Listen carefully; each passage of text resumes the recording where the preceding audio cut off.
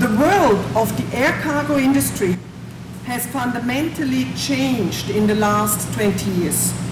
We were the first ones to manage the capacity of whole planes ourselves and on top of it to establish the flight schedules.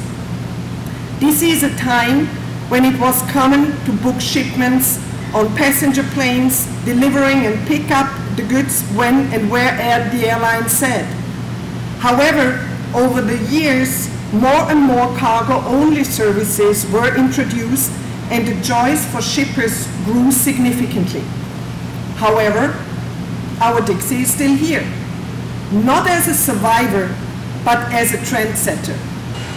Customers appreciate the tailor-made added value features of the service, which is also commercially very successful for Panalpina and its partners. A true win-win product.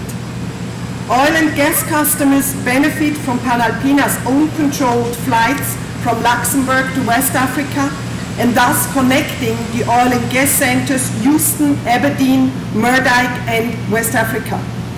For pharmaceutical products, there are cooling facilities both in Luxembourg and Huntsville, enabling seamless door-to-door, -door, a seamless door-to-door -door chain.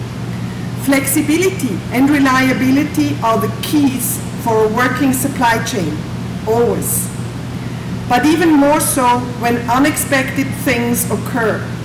Panalpina's Dixie Jet was the first cargo plane to be airborne after the terrorist attacks of 9-11, and it was also the first plane to fly into Europe following the eruption of the volcano in Iceland, which I can never pronounce the name, earlier this year.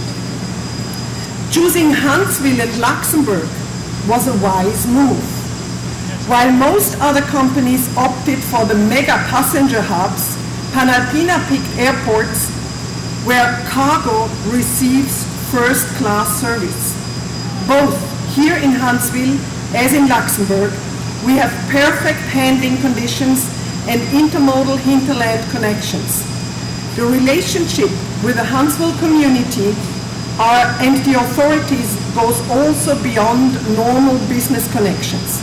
We are proud to have contributed to Huntsville's attractiveness as a business location. The DixieJet service is as innovative as it was 20 years ago. This is why we are not simply looking back on great days in history today. Instead, we are continuing to be always a step ahead of our competitors in order to be first-class service providers. You will hear more about that a bit later on as this, the Dixie Jet gets a new brother. Ed Mitchell is here with us tonight. This intermodal facility is named after Ed. It was his vision that put all the pieces of the puzzle together in this intermodal facility that allowed us the opportunity to start with Panalpina. In fact, I remember in the mid-1980s, Ed actually made the decision, along with the board of directors at that time, to invest a quarter of a million dollars in a piece of equipment for aircraft, uh, aircraft cargo operations. Up until that time, when that, that piece of equipment was purchased, the largest cargo airplane that had landed at Huntsville International Airport was a DC-3. Okay? But Ed had the vision that one day we were going to have 747 freighter operations. He bought a main deck loader that would accommodate the 747. And I think Panalpina is still utilizing that main deck loader today. Okay, so I think that's a credit to him. Our star is Panalpina. And they have been the company that has stepped forward, taken the risk, put a lot on the line, and said, you know, we want to make this work for industry and realizing all along with us that the ultimate customer is the user of these operations. It's, it's the companies that put the shipments on the aircraft uh, that make this a success. But we want to say to our star, Panalpina, thank you for 20 great years. to celebrate this 20 years of the Dixie Jet Panalpina 747 operation in our community And, uh, and we want to unveil that at this time and present this uh, to uh, the Panalpina team.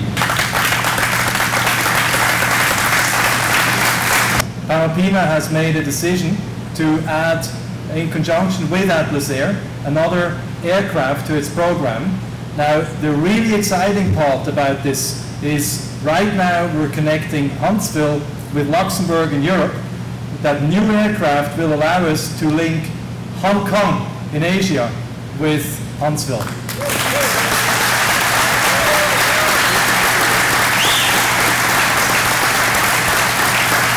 We are excited to see a flyby tonight. This is something very special. Very few people get to see a 747 with 130 tons loaded of cargo fly by.